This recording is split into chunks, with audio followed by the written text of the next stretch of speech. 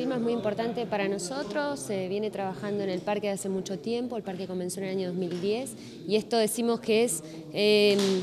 en realidad es el principio, pero también la continuidad de un proyecto que comenzó hace un tiempo y que esta firma significa ya la concreción de las primeras escrituras y hay muchas más en trámite con distintas inversiones. Y, bueno, ya se terminaron de construir las plantas, se generaron los proyectos que implicaba eh, la firma, así que bueno, el parque sigue creciendo y es una realidad. Para nosotros desde el comienzo de la Cámara Metalúrgica, donde fogoneamos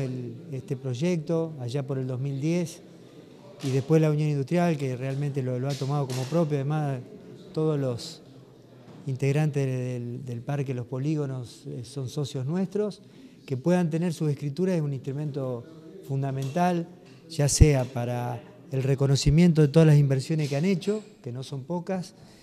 eh, para mejorar su, carpeta crediticia, tener un respaldo de, de una propiedad hoy no es poca cosa, y también significa el haber, eh, cuando uno compra el boleto de un parque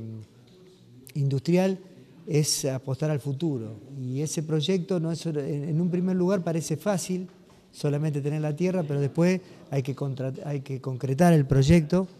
Y todas estas firmas, todas estas empresas para realizar esta escrituración tuvieron que cumplir lo que prometieron hace tres o cuatro años o cinco algunas de ellas.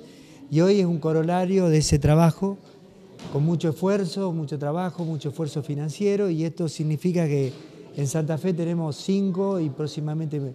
muchas más industrias eh, bien equipadas, con plantas modernas, que han realizado una inversión importante para quedarse en Santa Fe y producir en Santa Fe. Eh, yo siempre comento esto, ¿no? Nosotros estábamos, tuvimos dos años parados sin poder eh, encontrar un lugar donde poder radicar una industria. Eh, que el municipio nos haya dado un lugar,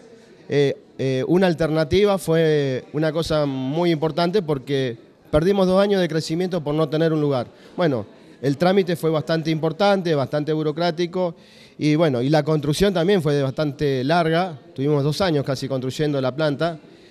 por, por escasez de recursos, pero bueno, lo logramos, lo construimos y si Dios quiere eh, el año que viene va a ser una realidad el crecimiento que vamos a poder desarrollar.